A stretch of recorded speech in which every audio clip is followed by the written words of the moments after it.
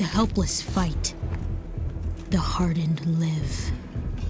That's what they taught me. What they forced down my throat. They wanted me to be strong, ruthless, cold as iron.